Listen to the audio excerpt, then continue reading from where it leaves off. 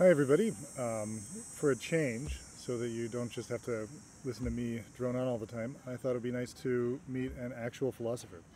Uh, and here we are in um, a nice public park with cicadas buzzing in the background. I'm here with um, John Russon.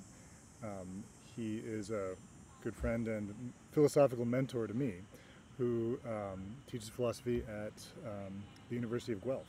And uh, so, John, I, I uh, just probably students are wondering what uh, made you get interested in philosophy. Yeah. Um, well, you know, philosophy philosophy can mean different things. Um, it can mean uh, just sort of being philosophical in your everyday life. It can mean studying philosophy at university, or it can mean uh, that you know tradition of of uh, great thinkers who whose insights have shaped our culture. And uh, so, I mean, I, I, have an involvement with all of those things, but they're different. Um, and so, I think that, uh, and I think that my relationship to all of them is mostly defined by that first one, like just trying to be philosophical. So I don't, uh, I don't especially think of philosophy as a, as a sort of a esoteric body of knowledge.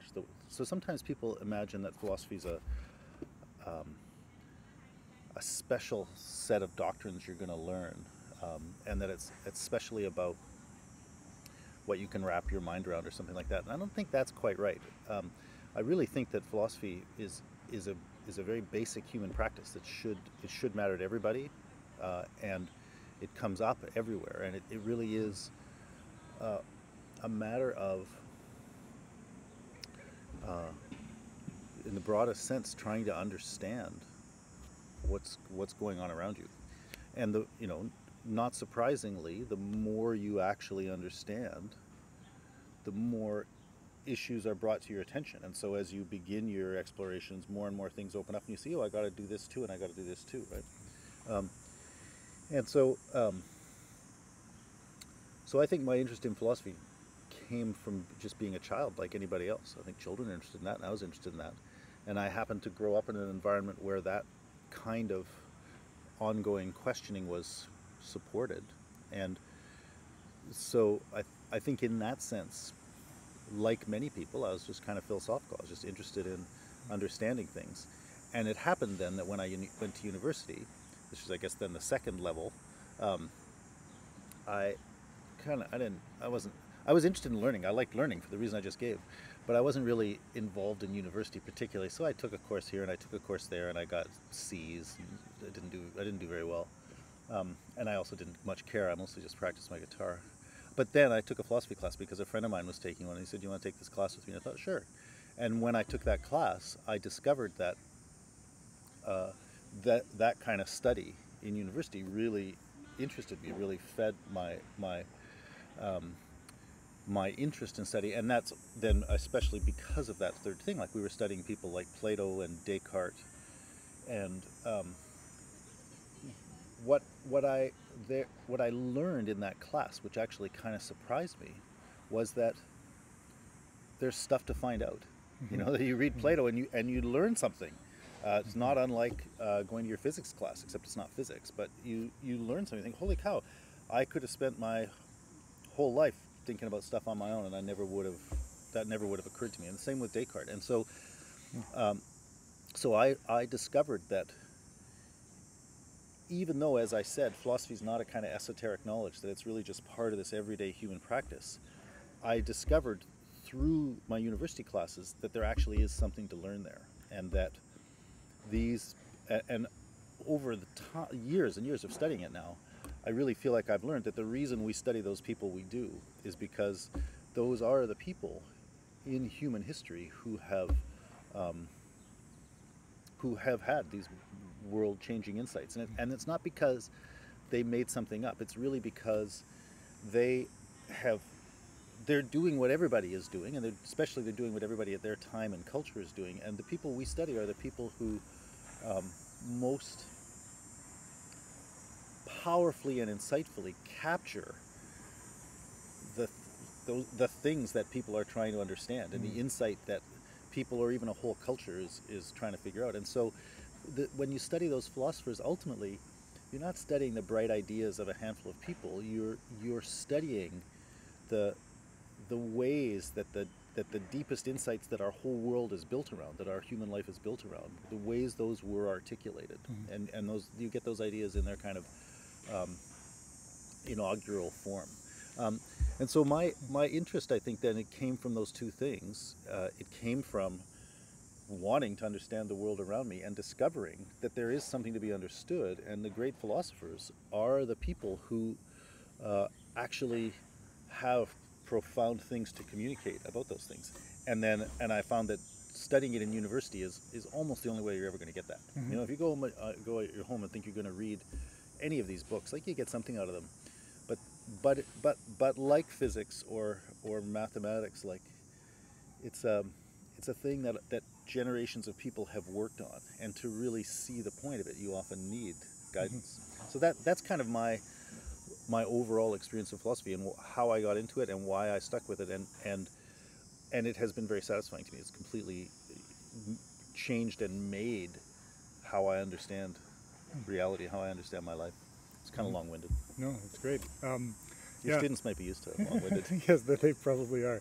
Um, so um, that was interesting, um, and I know that this has been a major influence that that uh, John here has had on me to think about the figures in the history of philosophy, not as you know a series of, of ideas and claims about reality, but as but as people who are are trying to respond to what's real in um, human affairs. Yeah. And uh, but um, one thing that's that's um, that's maybe an easier way into that sort that attitude is uh, the course that um, my students here are taking, which is existentialism, which thematizes uh, that um, very explicitly. And um, uh, I wonder if you have any uh, thoughts about uh, Yeah. the importance of existentialism.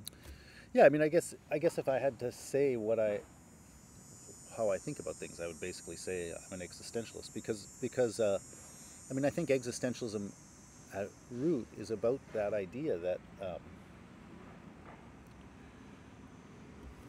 we're there's a distinctive kind of thing that we are, which is um, we usually use the word freedom to name it, but you know that's an easy word, and then you think, well, what does that actually mean? And and but that we, we are these free beings, and and that basically means our very um, our very way of existing is that we're engaged with a world that we have to make sense of, and like we experience ourselves as having to make sense of it in the way that a cat, my cat, doesn't particularly. Like it, cat's involved with the world in a way too, but things are pretty much set up so things are just going to roll on, and and the cat's going to roll with it.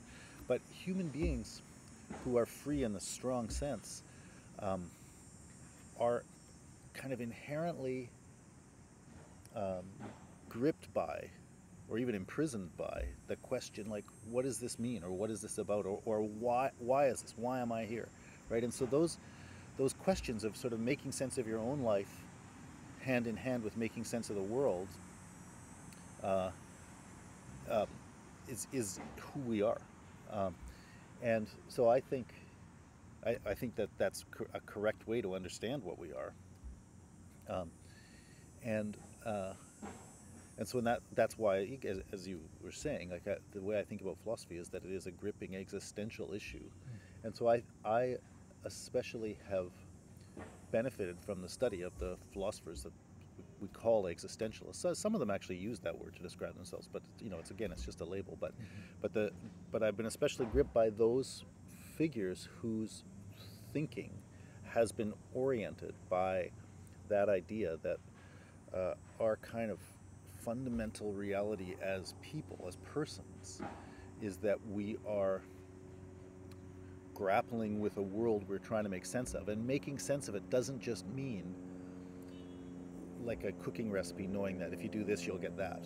That's part, you know, you want to learn how to make things work, but understanding it doesn't just mean that. It means that deeper question of what is this about or what does it mean? And, um, uh, and that's, uh, and I guess may maybe even put put a little more personal spin on it. At some level, grasping what the world means is wrapped up in this question of what does my life mean, and I, I think that the way that existentialism takes all those kinds of questions very seriously, but sort of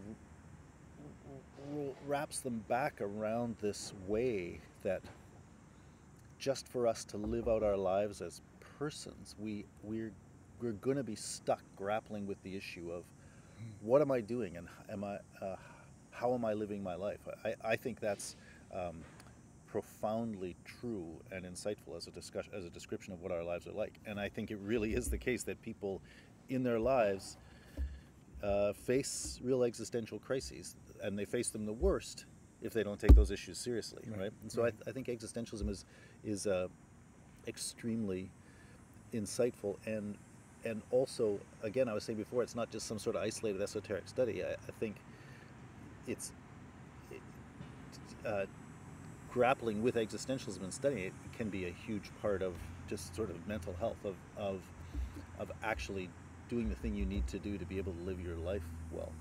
Mm-hmm.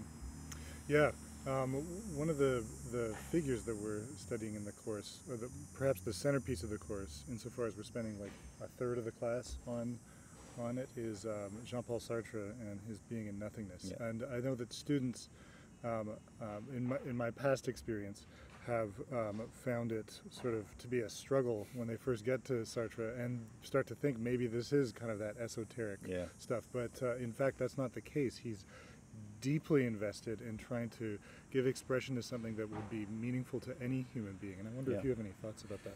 Yeah, I mean, I hate reading Sartre. I think, uh, I think.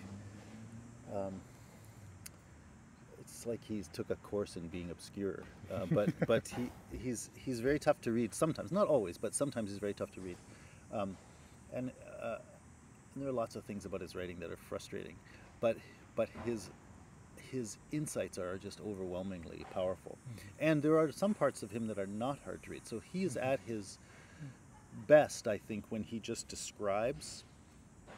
Uh, human situations, like when he describes uh, he has a section called the look where he talks about seeing someone in a public park or mm-hmm. in the early chapter uh, on negation he has a discussion of the gambler or he has this great mm-hmm. description of vertigo um, so he, he describes all these situations and i think i think he's really good at um, putting you into a situation and showing you something about it um, if you haven't already been turned off by his writing when you get to it but I, I think so i think those i think those things are great and if you um, get get those points from those readings. Then, when you make the turn to his, you know, the next page where he's kind of analyzing those things, his analyses are, you discover, are also quite brilliant and, mm. and really ins- insightful. But you have to get you have to get into those experiences first, and then see what he's saying. And then there are always some pages that are kind of obscure, but but uh, but yeah. But so I so but yeah. So he's a difficult writer, but he but he but he's also a very powerful writer, especially once you learn how to get into it. But yeah, I've been very um, uh, I've been very influenced by Sartre. I think he's he's one of the really great ones, and um, he wasn't uh, he wasn't one of the uh, the people who initially most captured my excitement. I, I, was more interested in figures like Heidegger and Merleau-Ponty, uh, and some others, Simone de Beauvoir. Uh, but I came back to Sartre after having studied him in my undergraduate, and and then really realized how much he he was saying the same things I was getting from those other figures, and he added a lot. Um, so I, th- I think he's um, I think he's maybe he may even be the most uh, the most insightful of all those thinkers. He's extremely good at detecting kind of the I don't know, I don't quite know the right word for it, but sort of the mechanisms or structures of our experience. Like he's mm. quite good at detecting what's going on over here and what's going on over here and alerting you to um, to things that are happening in your experience that you you don't that you just take for granted. But if you if you then notice them, you see, oh, um, that's a thing I could deal with differently. Like by being alerted to the way, I guess this is what I'm saying, by being alerted to the ways we make sense of things, by being alerted to the different dimensions that are shaping how we find our lives meaningful, we develop the possibility of taking those different dimensions seriously and changing our relationship to them. So I think he's especially good at that, and I think of all of those, the one he's he's I think probably most uh, most uh, powerfully connected with is, is our experience of other people and how how just what it is to experience another person what that is as an experience and what the dimensions are of that and then all the implications that come from that. You know you're talking about Being and Nothingness which is a you know a great book. He has another huge great book called the critique of dialectical reason and that is really kind of a, a, a really rich analysis of society and history. And uh, it's even more difficult to read than Being and Nothingness, but it is again, it, it's it's uh, just profoundly insightful. And I, so I think it's it's one of the most powerful works of social and political philosophy I've ever read, uh, because it's rooted in this his real ability to grasp just the what it means to deal with another person and the forms that can take. So anyway, so I don't know. Uh, so yeah, I think Sartre is, is a great one, and he has he has really come to influence me a lot, especially in my thinking about. Um, just this thing, the different kind of um, the different dimensions or aspects of how we make our lives meaningful. Mm-hmm. Yeah, so um, we, we're actually going to read um, uh, some of those um, some passages from uh, the chapter on the look. Yeah, that's a great um, one. When um, in a couple of weeks, I believe. So that should be pretty pretty exciting, and this might uh, help be an avenue into that.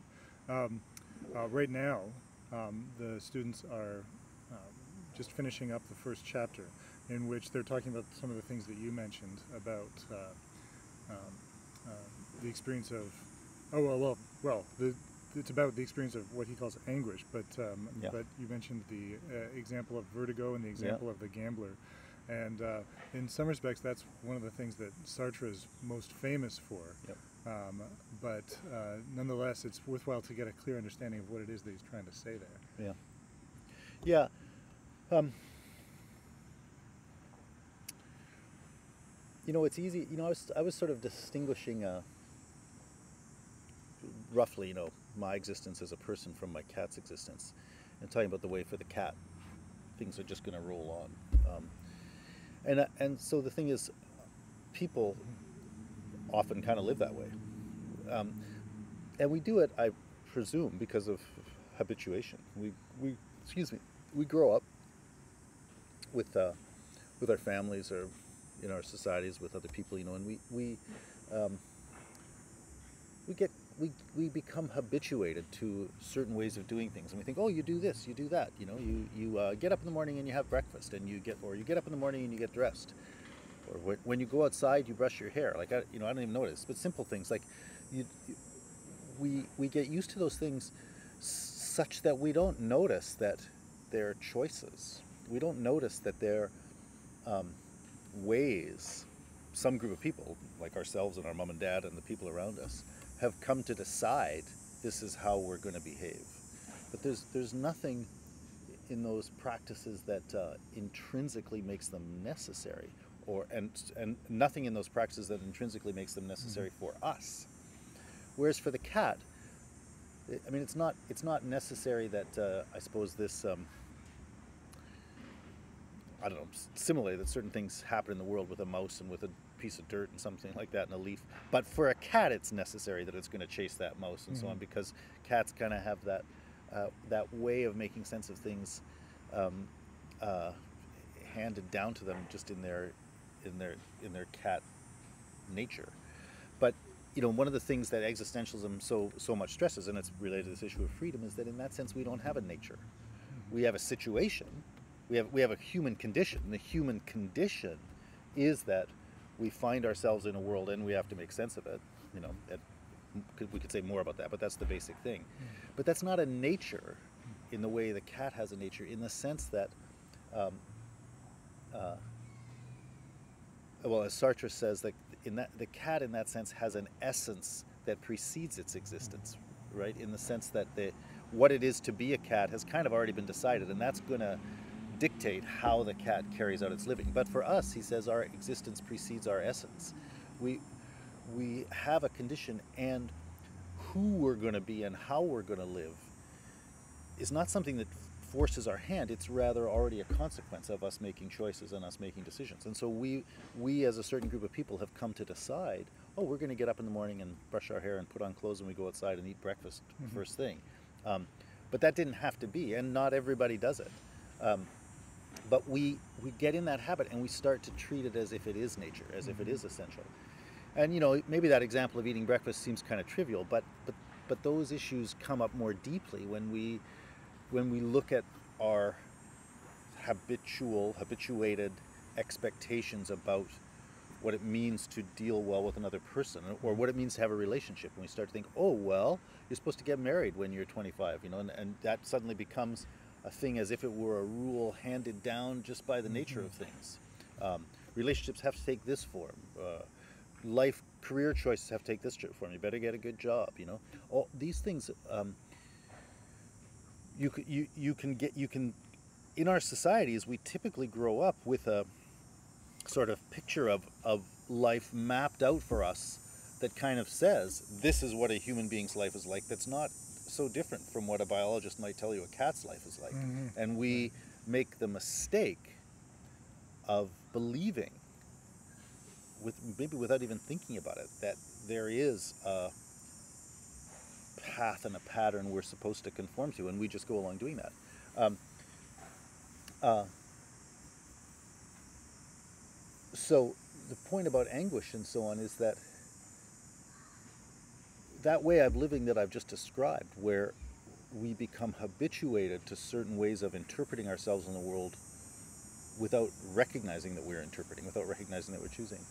Um, that way of living is is us kind of living with a fundamental dishonesty about our own reality, right? It, it means we're free beings pretending we're cats. We're free beings um, where the principle we've built our self-interpretation around is is that in a fundamental way we're not free, um, and that also means then we're building our life around the belief that our choices are not choices, and which is a lie, and so uh, a that that dishonesty about ourselves often comes back to bite us. You know, be, when when for example, you then start living, you know, with the view that well, since I did this, this is supposed to happen. This is the way the story goes, and then it doesn't happen because other people choose not to live that way, or or you know, God didn't sort things out so that every time you live according to the plan, you get great results. You know, often we are confronted with the reality later in life that choices we made two, five, ten years earlier that we pretended were not choices reveal to us that they were choices. And uh, we were thinking, oh, everything's going to roll along. And suddenly, nope, you made this choice and it was a shitty choice and uh, you, you, you get yourself in trouble. Yeah. Right? That's, that can happen a lot. So that's one of the ways our choices that um, we pretend are not choices can come back to bite us. But, but even if, but I guess the way I was describing that there made it sound like, you know, you get into a practical bind, and that happens. But I think even more, and this is really maybe where the issue of anxiety comes up, there's just a thing about us that is uh, almost like hunger. Like we have, yeah, we have a need to take our own freedom seriously, to take ourselves as free choosing beings seriously. And if we spend our lives living in this sort of dishonest way I was saying, that's like a life of just trying to suppress this thing about yourself. And um, uh, uh, typically, and here you know you, you this this starts to sound like psychology, and, and there are there is lots of great psychology that works around exactly this theme. You suppress that thing long enough, and at a certain point in your life, it just starts blowing up. You know, and, and this thing inside you that's the, the, the little it's like the human being inside you is saying you're not treating me like a human being, and but you know because you've built your life in a way that's sort of built around not acknowledging that there's no easy way for that voice inside you to say that. So it comes out in anxiety. It comes out in um, uh, crippling inability to sleep at night or um, uh, an inability to go out in public or things like that right? Where the world can suddenly seem uh, like you don't fit with it anymore and you you have this kind of pervasive malaise that you can't quite understand but maybe it makes you feel like committing suicide you know? The, the, this that's that's just a uh, a well documented reality in human life that I think this, this sort of existentialism, existentialist analysis really explains very well. And but then the amazing thing about that anxiety is that you experience it as something bad. You think, "Oh, I'm, why is this going wrong?" And in fact, what what it's what it really is is your existence telling you, "No, no, it's the other thing you were doing that's the sick part." Mm-hmm. You know, mm-hmm. like it's it's really, as people mm-hmm. sometimes like to say, it's kind of a wake up call, but it's like it's a wake up call. Uh, if you want to use that kind of old language, it's a wake up call from your soul. Mm-hmm. You know, telling you like, "Come on, uh, you're living in a way that's um, that's that's crippling us." You know. Um, and so that anxiety, I mean, this is maybe one of the greatest things about Sartre and Heidegger and some of these other existentialist philosophers who've really emphasized that theme of anguish or anxiety, is that anxiety is one of the healthiest things because it it is your freedom calling attention to itself. And it's your freedom in the sense I was talking about before, it's your freedom as that gripping existential issue of making your life meaningful like that's the thing that's that's shouting at you. It's the voice of freedom calling you to like get serious. Well, maybe serious isn't quite the right word. Get real mm-hmm. and and uh, uh, own up to your freedom. And the thing is, so often what we do then is run away from that, uh, and that's in a way what we were already doing in in sort of lying to ourselves about our choices. But when that anxiety comes up, we often try to flee from it and think, okay, I'm going to try to paper it over or hide it somehow and get back to normal. You think, I just want to get back to normal, um, which typically doesn't work. Um, but the, but as I was saying, like the, the the interesting and the great thing is that that that anxiety that looks threatening is actually typically the route to to kind of health. And so it those experiences of anxiety are dealt with well when we well, when we try to own up to our responsibilities in making our lives meaningful, and it's it's often a painful process, but the thing that comes out on the other end when you have lived through that anxiety and more honestly recognize the role that, that you have been choosing your own life, like th- that produces a situation. It seems to me where we live happier and better lives, and then I mean that's and that issue, I think, is probably pretty timely right now because I imagine a lot of people feel quite a bit of anxiety in the context of this pandemic because the, the thing I was talking about, like the familiar world that looked like it was going to work, uh, it's not working. Not exactly because of a choice of yours in any simple sense, but but also it's not unrelated to a choice of yours. Like you were buying into this program, right? And now, in a way, you see what that what that program was worth. Like it was, things aren't going very well. Mm-hmm. Sorry.